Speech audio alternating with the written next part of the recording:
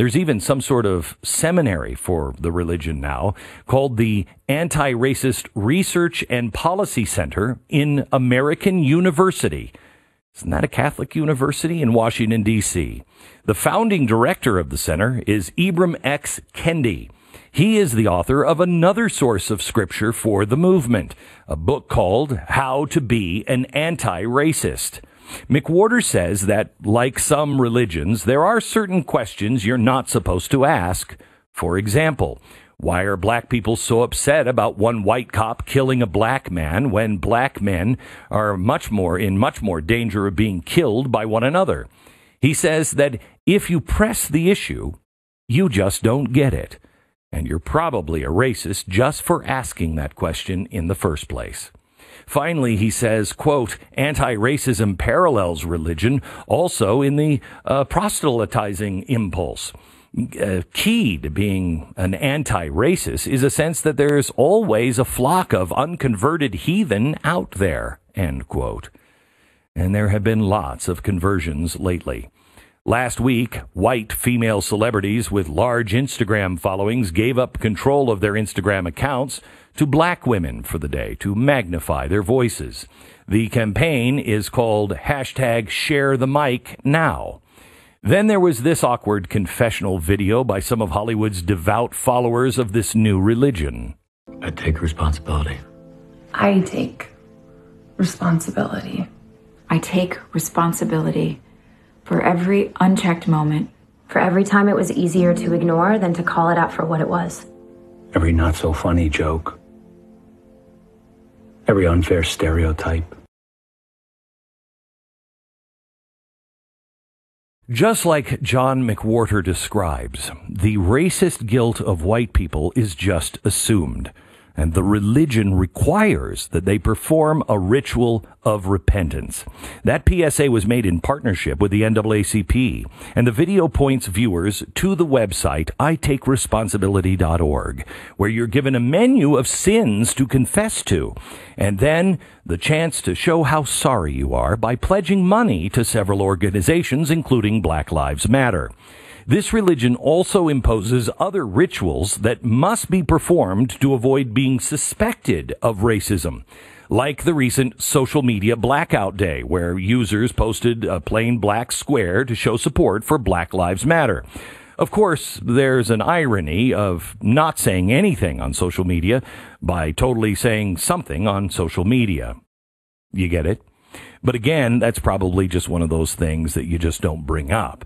And then there's the corporate ritual of proving your company is faithful to the religion. How many emails have you received lately from every country, uh, every company that you've ever bought anything from in the last year? Emails saying such and such company is against racism. As if this is a new development? Hasn't that been by and large the default position for most of America for decades now. No one disagrees that George Floyd's death uh, is appalling. We all agree it was bad. So why are companies tripping over themselves to let you know how not racist they are? Here's the reason they're terrified of this cult the cult of anti racism, made up of both white progressives and radical BLM followers. The cult of anti racism is in the middle of a new inquisition where the guilt is already assumed because you were born with it. Now it's just a matter of you getting caught and punished. The original Inquisition happened in Europe in the 12th century, and it lasted several hundred years. Inquisitors from the Catholic Church would arrive in your town, announce their presence, and then give people a chance to admit to any heresy. If you confessed, you might receive a lighter punishment, like a mere whipping or being sent on a pilgrimage. But if someone else accused you of heresy, well, you'd be forced to testify. And actually, it was only an opportunity to confess. And if you didn't confess, you were tortured and executed, which sometimes meant being burned at the stake. Heretics were not allowed to face their accusers. Of course.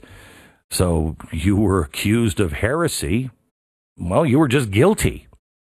Does any of this sound familiar?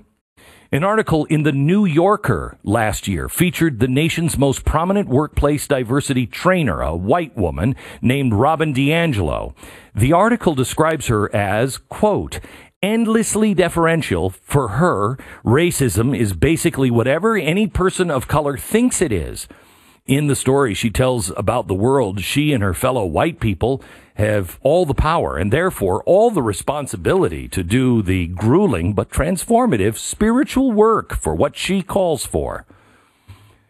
She seems to be right under this new religion, and in the current environment, virtually anything can be deemed racist. Just ask the executive editor of the Los Angeles Times. One of the active debates we had over the past week was about the use of the word looting to describe the destruction of property uh, and the very much the feeling among the uh, black journalists at the Los Angeles Times who frankly educated the rest of us to the fact that uh, looting had a pejorative racist connotation and that uh, comparing it to the kind of behavior of the police and uh, the kind of behavior that we witnessed uh, really was a false equivalency, and yet it was one that we were making as journalists.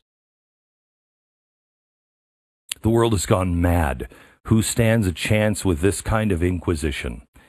During China's Cultural Revolution in the 1960s, Mao and his Red Guards killed at least 1.5 million Chinese citizens and imprisoned or tortured as many as 20 million more. This American Cultural Revolution isn't rounding up and killing people yet. God forbid it ever comes to that. But fueled by the intense religion of anti racism, this movement is taking people out in a different way. First, it's cancellation. In the past two weeks, we've already seen several high profile resignations for various anti racism sins.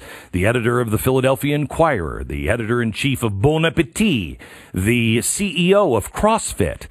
They're trying to cancel Candace Owens and Tucker Carlson for daring to ask some of those forbidden questions about the BLM organization. Keep going, Tucker and Candace. The president and, and board chairman of the Poetry Foundation also forced to resign. The Poetry Foundation. They both happen to be old white guys. And you might think, well, who cares? It's the Poetry Foundation. But this is the textbook example of how the cult of anti-racism operates. The Poetry Foundation is one of the wealthiest literary organizations in the world, uh, at least in the U.S., with an endowment of 250 million. After George Floyd's death, the foundation released a short statement expressing solidarity with the black community and declaring its faith in the strength and power of poetry to uplift in times of despair. Well, I think you see the problem there. They didn't go far enough for the cultural Marxists in the room. A group of black poets wrote an open letter denouncing the foundation's short statement. They wrote, and I quote, given the stakes, which equate to no less than genocide against black people, the watery vagaries of this statement are ultimately of violence. You see what they did there? They took a statement of support and interpreted it as violence. But wait, there's more. Ultimately, we dream of a world in which the massive wealth hoarding that underlies the foundation's work would be replaced by the redistribution of every cent to those labor amassed, those who labored amassed those funds. Uh, so wait a minute. It is literally Marxism there, right? It's not about racism at all. It's about good old communism. Make sure you give the money to the workers. Okay. So why is this religion of anti-racism the most dangerous cult in America right now? Well, because it's all encompassing and inescapable, and it's changing the foundation of our country almost overnight. The inquisitors are out to force you to to catch you in any kind of heresy. And when they do, you don't have the right to face your accusers. You don't have a right to try to defend yourself. If you do try, well, that just simply proves you are racist. It is dangerous because you're guilty until proven really super sorry.